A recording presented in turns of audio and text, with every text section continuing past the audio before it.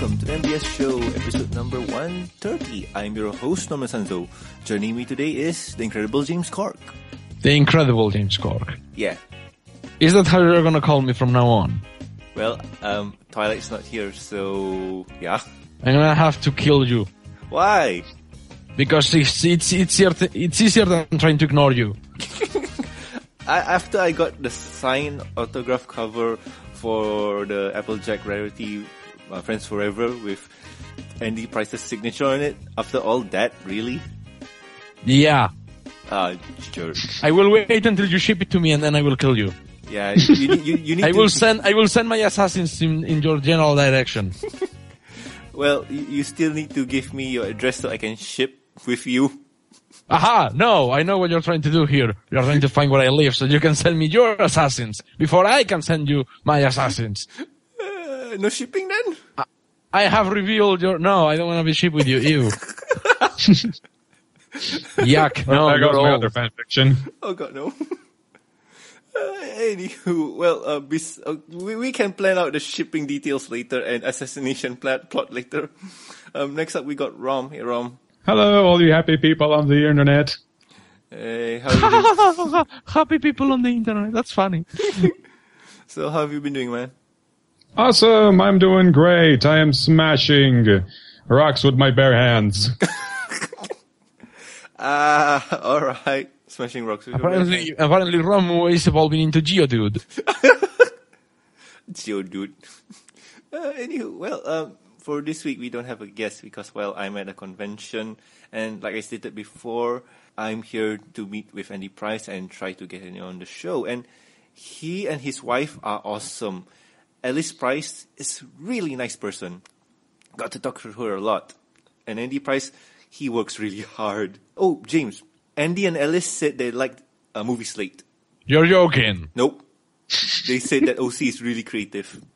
Wait, wait, wait, whoa, whoa, whoa, whoa, whoa. They actually know of movies slate. I showed it to them. You know, um, the buttons. I gave them uh, bu- the buttons to them, and Ah. they say that looks awesome. And I showed Alice Ah. your Tumblr blog, and she Ah. laughed, Ah. laughed in a Ah. good way. Like uh, it was funny. Ah. no. Why? I, no. Ah. Ah. Don't do that, Norman. Jesus. the senpais are I- noticing you. No. Piss off. I don't want to be noticed. Ah. I mean, I think I need. I was swallowing Sunday. uh, My saliva just went the other way, and it, I'm choking my lungs. That's not a word. What the hell, Norman? No, don't do that. Oh God. Now I'm gonna have to be scouting the background to see if they put movie slate on there somewhere. Jesus. Don't do that. No. right, Too late. Seriously speaking, I doubt they. I doubt they will even do that. I. Yeah. Come on. what if they do? It would be fun, like her in the background. If they're going to put an OC in their comics, it's more likely going to be one of the popular ones, like Yeah, yeah. Ask Pamponi or something like that. Yeah. yeah, probably. Easier to draw as well.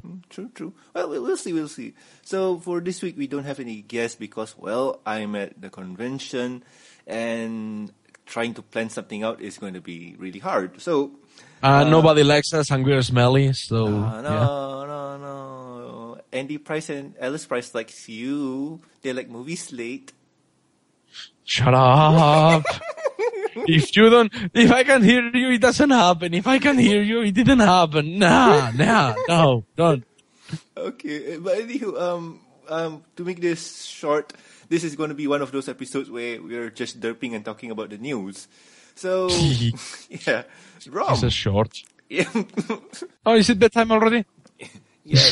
Read us your what you call this news time. In today's news time, Dave Polsky reaction to a negative question.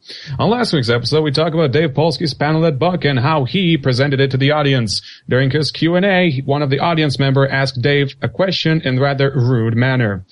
To know what happened, click on the show notes to check out the video.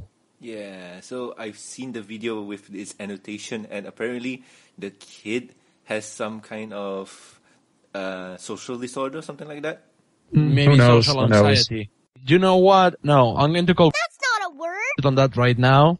That is not an excuse. I know people who have social anxiety that don't have that level of rudeness, lack of education, and manners. You cannot go to someone and say, oh, I don't like you, you have an ugly face, and please do not insult me because I'm autistic. That has been a, That's not a word. that is not been autistic, that has been a, That's not a word. Okay, I don't care if you have a social disorder. That guy was acting like an, like an absolute jerk. He got what he deserved. Well, I, I didn't think he got what he deserved. The the reaction was pretty mm, okay blend from the audience at Buck, from what I can tell. the audience basically applauded what Dave Polsky was saying, and they were too appalled by the behavior of this guy to even react negatively to it. They were like, "Are you serious? Are you are you are you really doing this?" Yeah, but still, it, it it was interesting to see that it went that way. Rom, anything to add on to this? Was it the guy that was trying to prove his canon? Yeah, Yeah, he was basically he was anyway. basically trying to explain why would Twilight Sparkle be a teacher when the CMCs don't need a teacher or something like that. Yeah, yeah, yeah. Or maybe the wrong teacher, something like that. Something like that in that manner, probably. Well, what can you say? You got your smart people, you got your silly people, and you got your people with no education, let's put it this way. Yeah, that is the problem. And that guy like- had zero levels of education. Yeah. I mean, I've been a customer service. I can understand Polsky in this, you know, situation. He's like, complain to a computer he's broken and like there's no way to fix it. And, you, you know, it's, uh, I understand him. I'm totally with Polsky handled himself like a boss. he acted like a complete professional and like i said uh, on last week's episode if i had been him i would have walked i would have left he did look like he wanted to get out of there and be somewhere else But the way he acted, it was really professional and it was really awesome of him.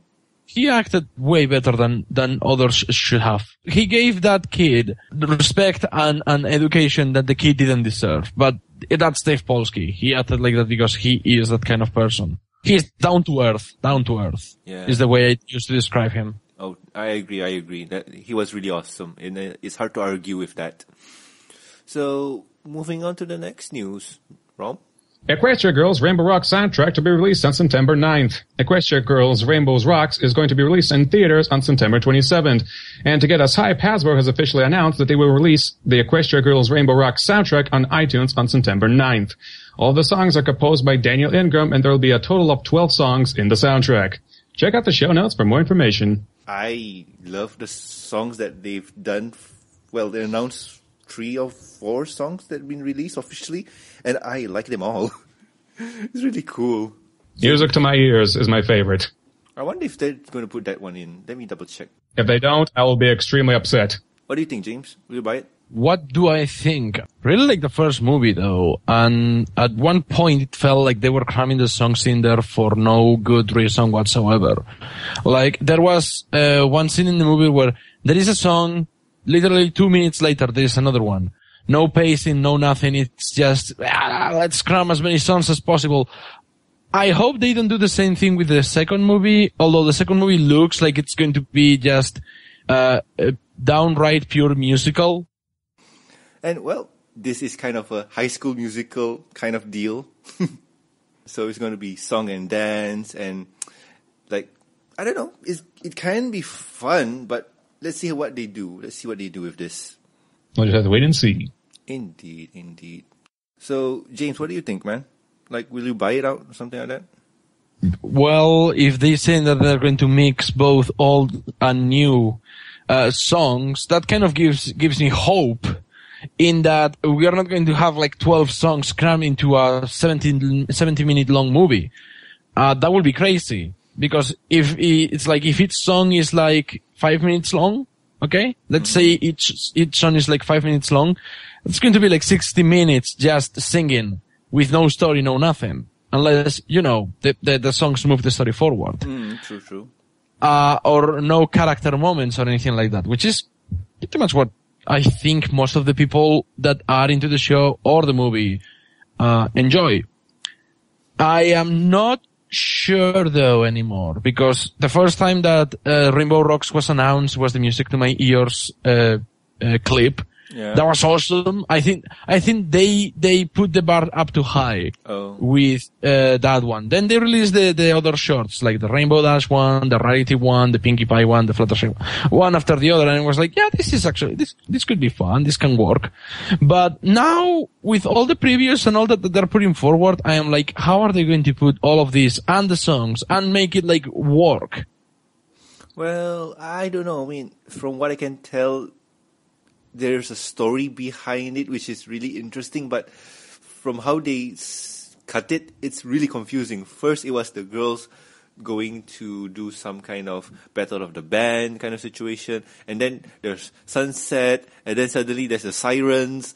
The one thing that concerns me is how are they going to put Twilight Sparkle in there? Yeah, yeah, yeah. Th- th- that's another thing. how is Twilight going to get there? Because for the looks of this, is like, this is uh, like the, the, the one clip where Flash Sentry shows up and he's like, Hey, are we to have somebody else coming in? And then they are like, uh, not really. The portal was closed and I don't think that it's to open again. So what are they actually going to do? How are they going to get Twilight in there? Is, is she going to go like through a solar flare or something like that? Or uh, how is she going to teleport back to the world of Can- Canterlot High? Like, I'm pretty sure they will figure out a way, but for the way that they are presented, at this point, we were going, we, for the first movie, I don't know if you remember this, but we already had the first five minutes released. Yeah, yeah. We saw the ponies going to Christ- the Crystal Empire and all that. We knew about all those things. And they kind of established how it was going to work out. How are they going to do it in this one though? They are focusing a lot on just the humans, uh, the human characters. Well, I think it's already established that uh, Equestria Girls is slowly based on that. What I'm interested in is what are they going to focus on? Because, well, to me, Sunset Shimmer is kind of the key star here. Like, even without Twilight, the show will be awesome because, well, you're developing a character that we all kind of are interested in, like Sunset. You don't really need Twilight Sparkle. You don't need the main character. This is something that Hasbro is very used to do. I don't know if you remember, but when the first Transformers movie was released, and I'm talking about the animated one, okay, they killed off the Opti- Optimus Prime. And when they returned to the show, Optimus Prime was still dead. And that's because they were releasing other new line of toys. And Optimus Prime wasn't part of it. So they, that's why they decided to kill him. So in the same way that, uh, that, uh, uh, perhaps, perhaps Rainbow Rocks should have focused just solely on Sunset Shimmer. Sunset Shimmer should be the protagonist of the show. She is the Twilight Sparkle of uh, Equestria Girls in that she doesn't know friendship. She doesn't know anything. She's a redeeming villain. She has a much more interesting character arc than any of the other characters. Uh, because for the sole fact that she actually does have a character arc. I mean, the other, uh, the other main six in human form, they don't have any character arc whatsoever. They don't have any conflict. Pinkie Pie doesn't have a conflict. Rainbow Dash doesn't have a conflict. Uh, Applejack doesn't have one, no, nor Fluttershy. Perhaps the one with the most, uh, uh, idea for, for a conflict will be Fluttershy. But Yeah. that's because she always has the same thing going on for her. The whole, oh, I had, I don't have a spine. I'm going to develop a spine through the process, of the story. And then at the end of the story, I'm going to forget that I have a spine. And then I'm gonna go back to the next episode and have another spine, uh, having to look for a spine again. You know what I mean? Yeah, I know, I know. I, I, Yeah. do. I, I kind of agree with you, but and I do want them to focus on sunset. But the point of the ma- or the fact of the matter is, it's marketing. They need to have Twilight there, or else it won't sell. It's, You don't really that. need to. I know they. You don't they really- Don't, they don't really. you don't really- to.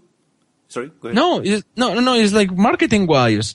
You know why we got Princess Cadance, right? Yeah, because they want a pink alicorn toy. Yeah, and they wanted to sell white alicorn Celestia, so they needed a pink alicorn princess. So they had to, they had to uh, bring Cadance out of nowhere.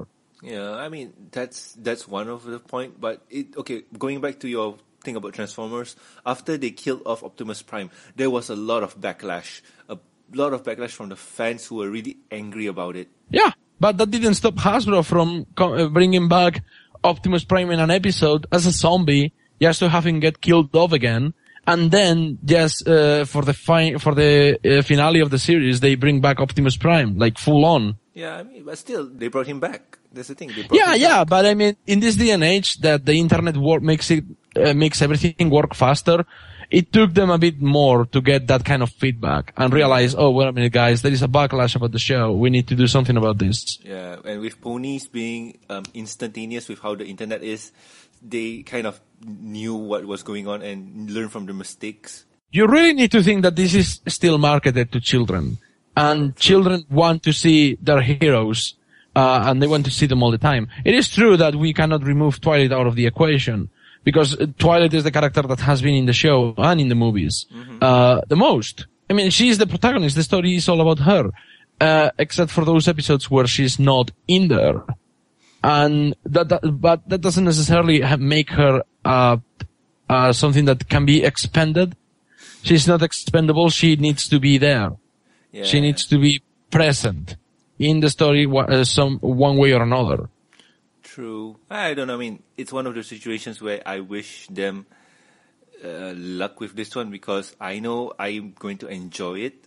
It's one. It's one of your thing where Guardians of the Galaxy, even it sucks, it's going to be awesome kind of deal. I I am taking my other route with this movie in that I am I, I am taking the route of I don't know what is going to happen. I am seeing the clips, but I am not hyping whatsoever. Okay. And Rom, what about you? Eh, we'll see. We'll see. I like to see the movie before I can make any judgments or statements or whatever. All right. Cool. Cool. The trailers look nice. I'll give them that. So yeah, this might be interesting. How it's going to turn out, I don't know. As for Twilight Sparkle's appearance, let's make a bet. I think Doctor Who is going to take his TARDIS and bring to the other world. Oh God. Uh, no. But yeah. it could happen. Probably. Uh, but anywho, um, I guess that's the news for this week. I'm Norman with the MBS Show News. Back to you, Norman. Thanks, Rom. And well, like I said, this is going to be a short episode. So next topic is shoutouts. So my shoutout is to you guys. Thank you for coming on and dealing with my derps. I'm really sorry that I am derping really hard. I think everyone's derping this weekend. Yeah, probably. I'm really It's one of those about that. days. Yeah, I'm really That's sorry cool, about that, that's man. And also to Andy Price and Alice Price. Thank you for coming here and thank you for being awesome. I bought a lot of prints. I am going bankrupt. no. And also to the Singaporean bronies and some of the old MBS show hosts. Thank you for meeting up with me and playing some games. It was awesome. And James, what about you, man? Well, uh, my shout out goes to the guys that are in the stream right now because they're super loyal. They're they're cool. They're fine. And uh, if it wasn't for them, I wouldn't be here right now. So thank you guys for hanging out with me. I want to give a shout out to Norman because despite him being um, jerky face who bothers me with stupid calls because oh I will have a guest this week, James. Come banter with me about stupid news that I have seen in the Equestria Daily. Doggy. Uh, he's a good guy with a good heart, and I uh, I love his personality and how well he takes every time that I abuse him. Uh, because let's be honest, people sometimes I get very vindictive with the guy, but it's all because I love him.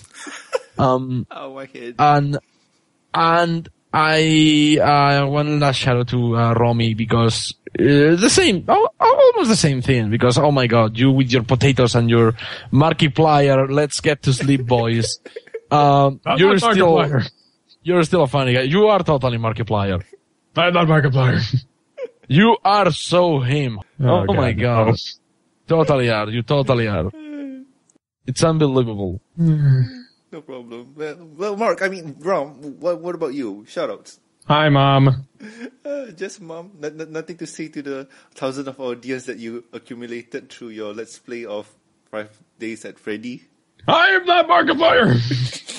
Ah, Yeah, that's what was you keep work? saying. That's what you keep saying. Indeed. Gosh darn, fellas. well, with that, if you have any questions, concerns, or suggestions for the show, you can email us at mbsshow at gmail.com. Also, you can reach us on Twitter. Um, the Twitter will be in the show notes, but the MBS Show's Twitter account is at MBS Show. Sudibot will kind of blame me on this episode because I'm the one derping, not James. So, yeah. I did drop a couple of F bombs. Shitty bot is gonna be censoring all day long. Yeah, but she's going to be more mad at me than you. Yeah, right. Yeah, and also you can catch me at Norman Sanzo at Norman Sanzo. I'll be posting pictures of con cosplayers and whatever because they're awesome. And James, what about you? What do you mean me? Um, sh- how can they reach you? Uh, the, you cannot reach me. I live in Spain. Get away from me. How about reaching you via the internet? You can check me on Twitter, although nobody follows me on Twitter, but it's uh, James uh, l- underscore Corck. You can check my DeviantArt at jamescork.deviantart.com and you can go to my movie slate Tumblr on askmovieslate.tumblr.com. Awesome. And Rom? You can find me at relicious.dnr.com or my Tumblr, I am relicious.tumblr.com. Awesome, awesome, awesome. And also please subscribe and rate us on iTunes, YouTube, and Stitcher Radio. And also like our Facebook page. Yes, we have the Facebook. You can also listen to us on ponyvillelive.com. Links will be provided in the show notes. So I have been a very derpy Norman Sanzo. I am Romuald. And I have been James Corck. And James, Andy Price said movie slate was awesome. Yeah, yeah, yeah, yeah, yeah, yeah, right. That's what you're saying. I'm pretty sure that's a lie. Nope, they say I'm pretty he's sure he said, he said, I'm pretty sure he said, oh, that's a very silly movie pony. And then he just tossed the, the, the badge away. It fell on a trash can with uh, a adagio for strings playing. Like, it was like the end of Platoon.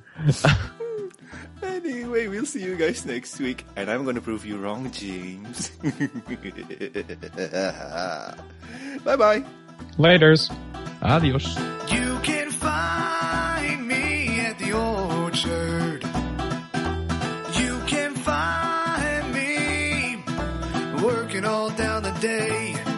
You know I ain't got much to say, but it don't matter anyway. You don't need words to run a farm. Some may call me a simple pony. Say I ain't got a whole lot going on. Well, I would love to prove you wrong, but I've been bugging all day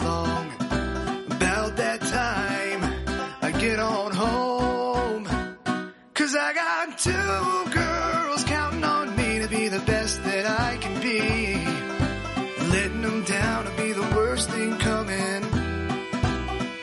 So I got no time for anything other than a little bit of apple bucking. So if you'll kindly let me be, I got some work ahead of me.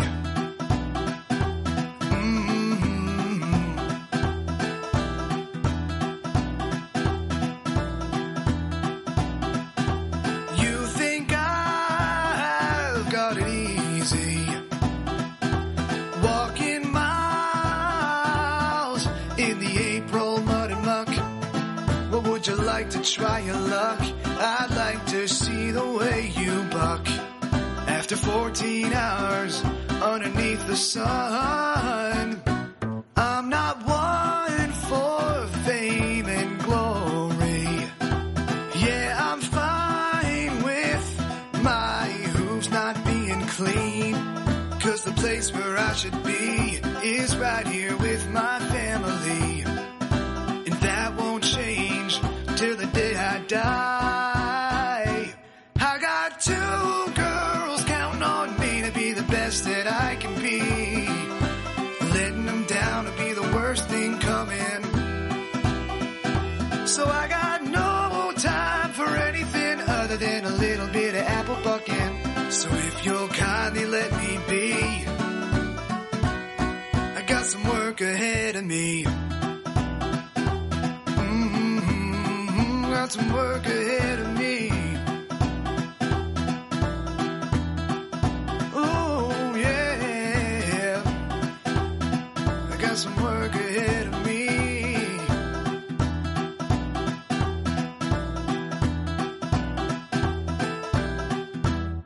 Are you serious? Is this actually the end of the podcast?